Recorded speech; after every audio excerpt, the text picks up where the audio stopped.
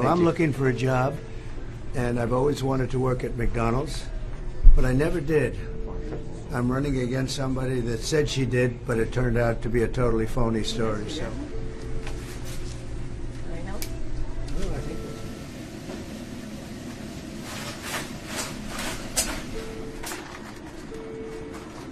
Never even touch it, huh? Exactly. Thank you, man. Appreciate all Thank you very much. Fantastic. Hello.